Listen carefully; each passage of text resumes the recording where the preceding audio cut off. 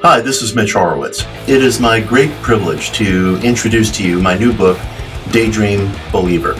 Daydream Believer is really the culmination of my journey at this point into the question of mind metaphysics or mind causation.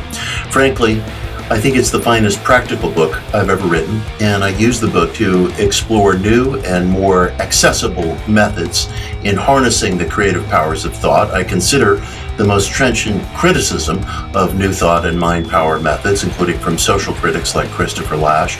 and I survey the last hundred years or so of research into psychical abilities, ESP, clairvoyance, precognition, and marry that to current developments in string theory and interpretations of quantum mechanics to create a theory of why thought makes things happen.